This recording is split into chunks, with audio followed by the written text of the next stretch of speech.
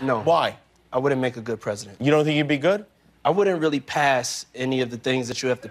Diddy reportedly attempted to initiate a conversation with Kanye West during a Los Angeles concert this month, but sources reveal that the interaction did not materialize, leaving questions lingering, especially in light of recent developments in the bad boy mogul's life.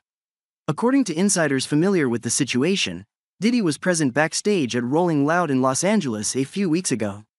He, along with his entourage, had gathered to watch Kanye's performance and expressed his desire to have a personal chat with Ye.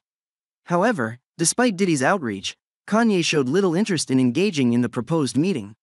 It's unclear whether Kanye outright declined or simply didn't prioritize the encounter.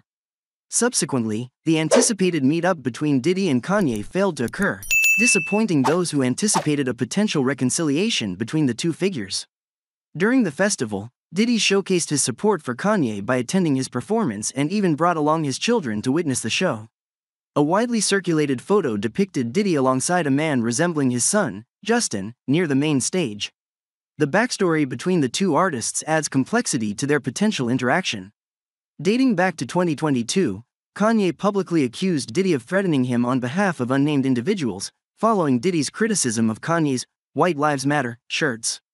Despite Diddy's apparent display of support at Rolling Loud, Kanye's tepid response suggests that lingering tensions may still exist between them. Adding to the intrigue, Kanye previously shared private text exchanges with Diddy, where he accused him of being associated with law enforcement. Fast forward 18 months, and Diddy finds himself under intense scrutiny as the Department of Homeland Security conducted raids on his properties in Los Angeles and Miami. Allegations of involvement in sex trafficking have surfaced, prompting Diddy to vehemently deny any wrongdoing.